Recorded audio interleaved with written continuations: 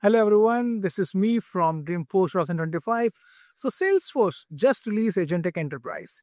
It's a game changer for businesses because it's a blueprint of how a business can utilize you know data and AI altogether. It's not just about it's not at all about replacing humans. It's about how you can bring your data, your processes, and AI all together in an agentic manner. This is something which is going to revolutionize businesses. And the most impressive and I would say really uh, great announcement was the Agentforce Vibes. You simply just describe an application with uh, you know some language itself only, and it creates it for you right from just plain text itself only. And it is just not something that I would say is a concept. It's something that we saw that Dell used it to slash a process of 60 days to just 20 days.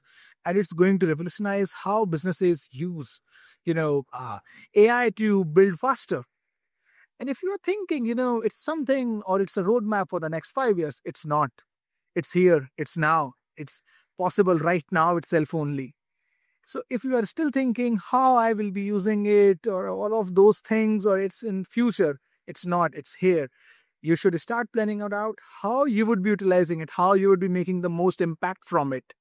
So if you are here at dreamforce i would love to connect and hear your thoughts as well.